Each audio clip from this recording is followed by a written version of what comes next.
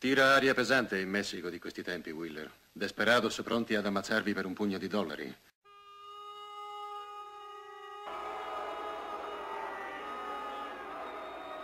Quindi Tex decide di andare da questo morisco, quindi uno si aspetta che nella scena dopo ci stia arrivando o ci sia arrivato, invece il film mostra loro tre che non fanno altro che camminare e camminare e camminare e ci viene mostrato tutto il percorso che seguono.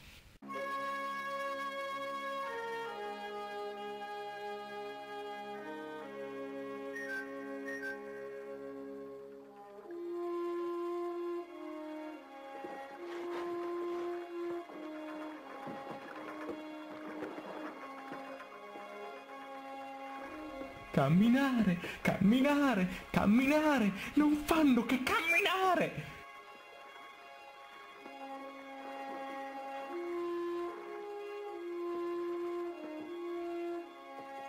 Siamo sicuri che ci sia qualcuno? Hai già voglia di tornare indietro?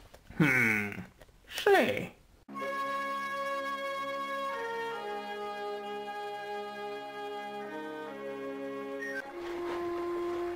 No, no, no. Arrivati dal morisco il film dà il meglio di sé, a parte le stronzate fumettistiche che vengono fuori, come Kit che esclama Per Satanasso. o Tex che si accende il sigaro con un candelabro, assistiamo a una scena di suspense da parte del maggiordomo che sembra dover fare chissà quale azione delittuosa, sembra ordire chissà quale piano contro i nostri eroi e invece non stava facendo un cazzo! Thank you.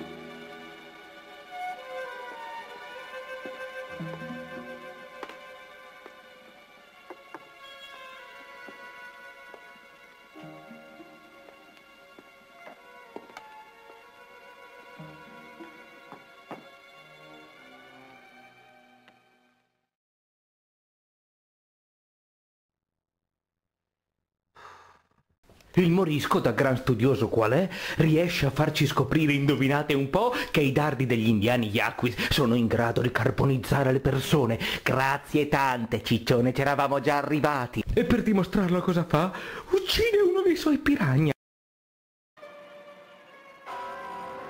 Ammazza un povero pesce.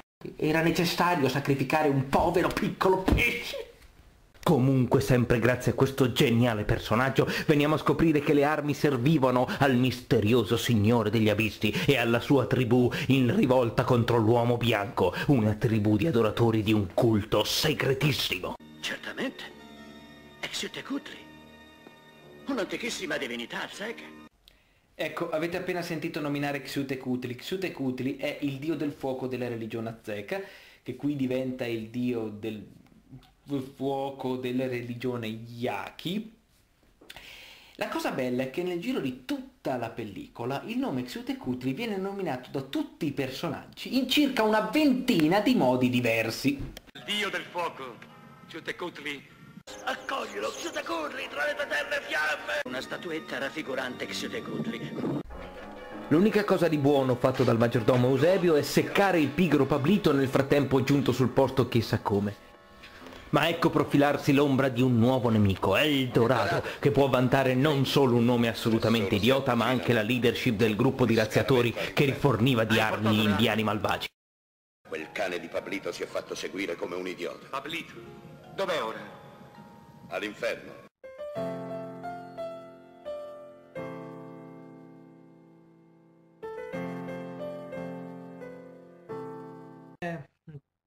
Ma è proprio seguendo le tracce di Pablito che i nostri trovano gli uomini di Eldorado e si scontrano con loro.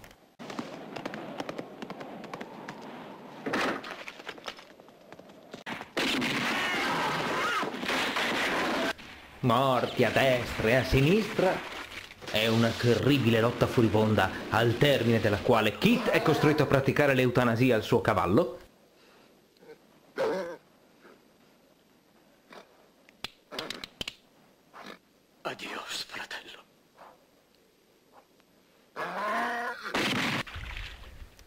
E Tiger è rimasto ferito. Fa vedere. È una brutta ferita, ti ci vorrebbe un dottore. Per farmi imbottire di pillole. Meglio i vecchi rimedi.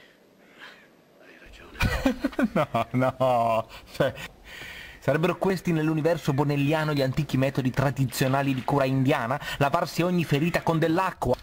E poi in quel pozzo c'è morto un uomo, cazzo! Non credo sia tanto igienico. Ricordiamo che nel frattempo quell'infamone di Eldorado è scappato uccidendo uno dei suoi e fregandogli i cavalli. Ma i nostri hanno per questo povero tizio l'ultimo gesto di pietà umana. E no, eh. E no, no, no, no, no, no, no, no, no, no, no, no,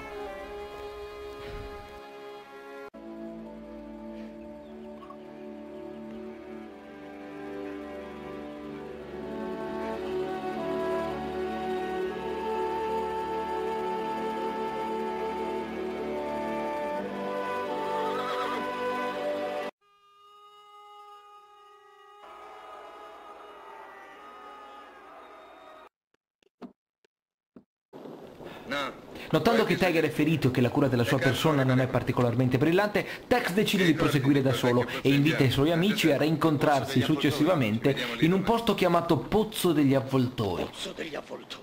Posto ideale per un appuntamento. Così Kit e Tiger arrivano al Pozzo degli Avvoltoi. Si chiama Pozzo degli Avvoltoi, Pozzo degli Avvoltoi, cazzo! Dove cazzo sono gli avvoltoi? Così allegro che neanche quelle bestiacce ci vengono più. Bella spiegazione del cazzo. Ah, come no? Il film non aveva il budget per avvoltoi veri, eh? Kit e Tiger arrivano quindi al pozzo.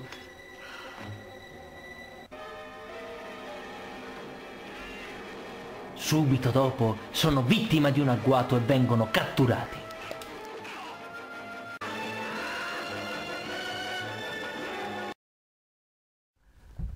Te l'avevo detto che rimanendo nascosti nella sabbia per giorni prima o poi sarebbe arrivato qualcuno. Nel frattempo assistiamo a una sorta di momento romantico fra Tex e il suo cavallo. Un po' disturbante.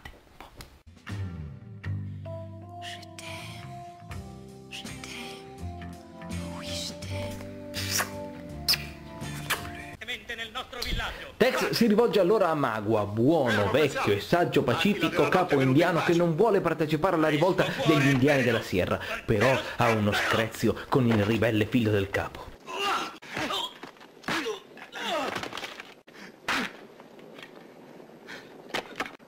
Ti aveva offeso. Era tuo diritto uccidere. Certo, Tex, serviti pure. Potevi uccidere mio figlio per un cazzo di litigio. Buono, saggio e pacifico, un par di palle, Magua. Interessiamoci ora a cosa stiano facendo i cattivi del film. Kit e Tiger, ricordiamo, sono fatti prigionieri da questo perfido e carismatico personaggio malvagio interpretato da Flavio Bucci. Al Signore del Fuoco. Le vostre grida strazianti si leveranno sino al cielo. Ed è proprio dal cielo che scaturirà la nostra forza. Parlo piano per dare più peso alle mie minacce. Sai cosa ti dico? Puoi anche andare all'inferno!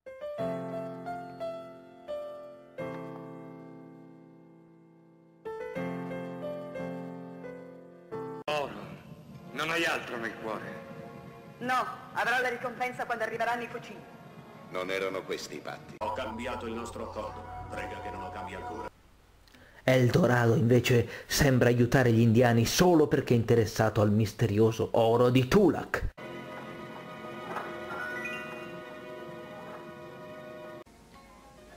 È quello che penso che sia. È bellissimo. Volete sapere di chi parliamo quando parliamo di Tulak? Eccola. Eccola veramente dietro alla rivolta degli indiani, l'affascinante principessa Tulak. La principessa ci ricorda dunque che la donna che striglia i cavalli che è comparsa per circa 12 secondi non è l'unico personaggio femminile del film. Anche se in teoria il principe Tulak dovrebbe essere un uomo, ma perché rinunciare a mettere una gnocca nel film? La principessa Tulak ci conduce allora nelle segrete portandoci dal Signore degli Abissi, il custode del potere di Xiute Kutli. E indovinate il film cosa ci mostra? Lei che cammina, e cammina, e cammina, cammina.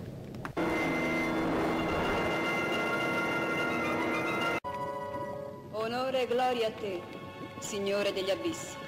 Anche a te, nobile Tulak. Fermi un po', fermi un po', fermi un po'. Fatemi risentire quella voce. Il fuoco di Xiutekutli ha ormai divorato gran parte del nostro corpo. Per Satanas. Ma questa è la voce di Kit Carson. Brutto bastardo doppio giochista.